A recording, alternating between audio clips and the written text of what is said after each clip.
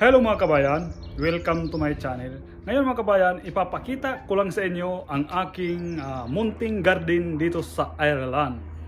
Kung nakikita niyo mga kabayan, ito po mga kabayan. Oh. Yan ang shade. Shade kasi dito mga kabayan, hindi ka makakapag ano, pag wala kang shade. Ayan mga kabayan, yung shade na parang clear siya na ano, na parang plastic siya na ano eh. Ito, ituturo ko kayo mga kabayan sa aki, sa, dito sa loob. Sa shade.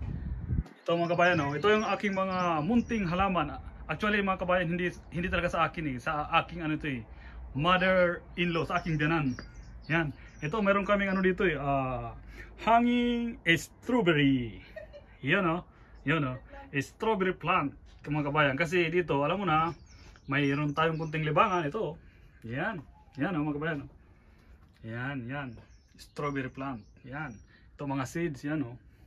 Kasi mag ano dito, mag magsa-summer na dito mga kabayan. Kaya yun. Yan, ito, may bulaklak na siya mga kabayan. Oh. Yan, yun. Kasi masipag yung biyanan ko dito mga kabayan mag ah, magtanim-tanim. Yun. Kaya nakapasyal din tayo dito. Kaya yun. Sinishare natin yung ah, ating garden sa ating munting garden sa bahay or sa bak sa likod bahay lang. Ito, ito ah, pichay mga kabayan yun. Oh. Yan oh. Yan oh. Ito mga kabayan oh. Makikita nyo yan oh. Yan, yan ang aming munting garden dito sa Ireland. Yan. Yan. Maliit-liit lang yan mga kabayan. Maliit lang tong ano seed mga kabayan eh. Yan. Marami kami ano dito, marami mga halaman eh. Yan. Hmm. Yan, mga pichay oh, mga kabayan oh. Yan, yan, mga taniman namin yan dito mga kabayan oh. Yan. Yan pa mga kabayan oh, yung ano, yung aming ano sa labas ng uh, shed eh, ano. Yan. Yan sibuyas eh. Uh, pula. Ito saka ito yung ah nakalimutan ko na anong tawag nito eh. Ubas ba to? Ano ubas? Ubas. Ubas. Yan, grapes. So yan oh. Yan sa aming munting ano lang eh, gardinan. Yan oh mga kabayan oh. Yan, yan. Ganito lang kami ito mga kabayan sa Ireland.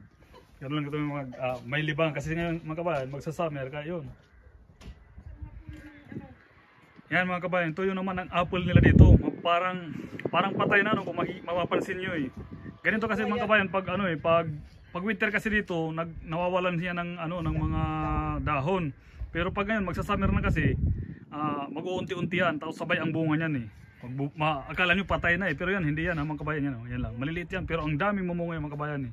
Kaya sa mga ano kabayan, ipapakita ko sa inyo yung ano pag, pag mamunga para makita niyo. eh. Yan ito. Ah, yung apple din to, apple eh. Yan, yung mga kabayan. Yan ang aming mga halaman nandito. Puno, puno ng piras. Yan, piras. Yan. Yan ang aming ah, rose. Rose na bulaklak.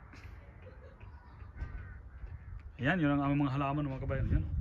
Pasensya na makalat kasi nagano kami, nag nagtatapon. Yan pa oh. Yan, yan, yan, yan. Yan ang mga kabayan, ang aming tulips na ano, na garden dito sa sarili namin, sa harap. Yan ang tulips mga kabayan. Yan ang aming simple na halaman or tulips. Yan. Ganda rin mga kabayan. Kasi ang kagandahan ngayon dito sa magsasamir kaya nakapag ano kami, nakapag halaman or na namumulaklak na sila ngayon kasi nagsasamir.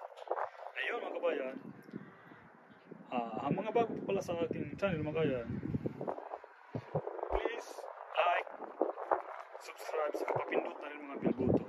Yun, maraming salamat mga kabayan.